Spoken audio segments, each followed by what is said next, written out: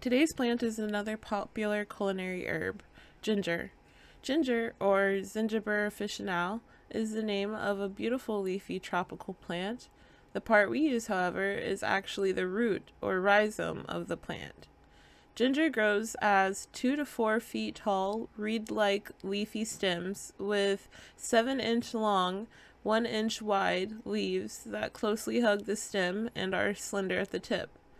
When he flowers, which takes years even among varieties that do flower, the flowers appear on the stalks crowded into a club like shape and are green with purple lips.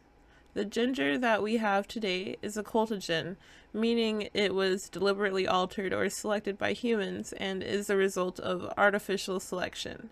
Also meaning ginger does not exist in a wild state. All parts of ginger are consumable by humans and but any wild ginger may be poisonous. He can be propagated by separating the rhizome's eyes and planting to grow shoots and more rhizomes. Ginger is native to Southeast Asia and enjoys climates of USDA hardiness zones 9 through 12 and fertile, well draining, moisture retaining, loamy soil.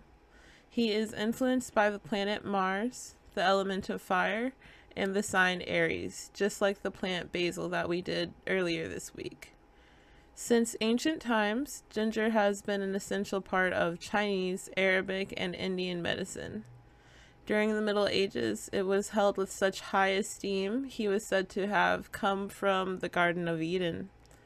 Today we use ginger to aid with a number of digestive and circulatory conditions, such as motion sickness, morning sickness, nausea, vomiting, inflammation, colds, coughs, indigestion, intestinal gas, headaches, painful menstruation, sore throat, flu, bronchitis, stimulating digestion.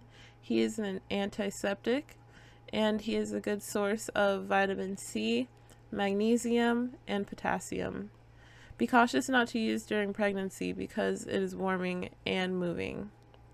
Ginger is also well known within the magical community as a spice to keep near the altar for his potent ener- energetic properties. His magical properties and applications are very similar to cinnamon. Here's a list of energies ginger brings to a space, body, or event. It is also worth noting that you can sprinkle or place a slice in your wallet to bring in money, and you can consume him before spell work to add heat to the spell, or drink before meditation to promote stability and groundedness. Ginger can be used as itself or as an essential oil.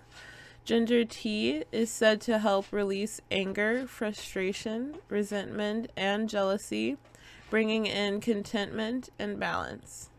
The measurements for ginger tea are about one inch of ginger cut into slices, boiled in one cup of water for 20 to 25 minutes. I enjoy this tea with a little lemon and honey. Will you be adding ginger to your next shopping list? If you have any questions, please leave them below and I'll get back to you as soon as I can. And thank you for watching.